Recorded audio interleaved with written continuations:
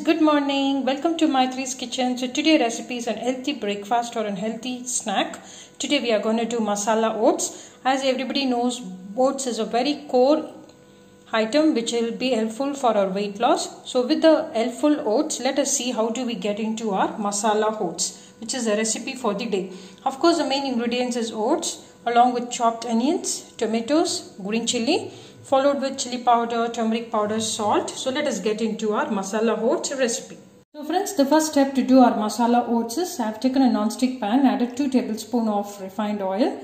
So now going to add a tablespoon of cumin seeds, followed with one by one other items. So now you can add the required amount of green chili. I have taken 2 green chili for 1 cup of oats. You need to buy the rolled oats so followed with our green chili, I'm going to add chopped onions. This is a very simple and healthy recipe. So please do try this recipe. You can add some vegetables as well to make it more flavorful. This is fried nicely. So I'm just going to add the chopped tomatoes. Mix it well. Let the tomato get little smushy.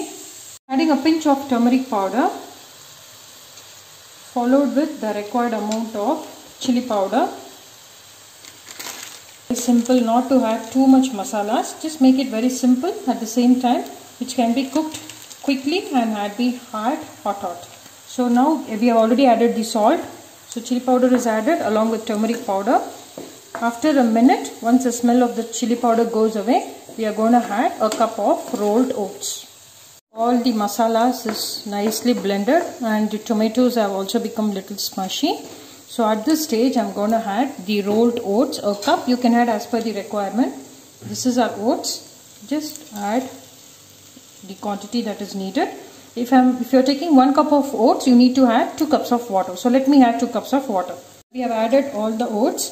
Just mix it quickly and add two cups of water and close the lid and cook it for 2 minutes. The oats usually gets cooked fast. So let us add the water. You can check the salt everything now and add it right away and close the lid.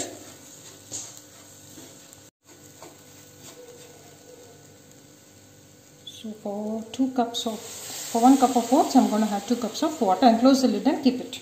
See our oats yes the masala oats is very colorful. So now we can off the stove.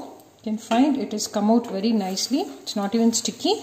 If you add the correct amount of water it comes out very well. You can find it here.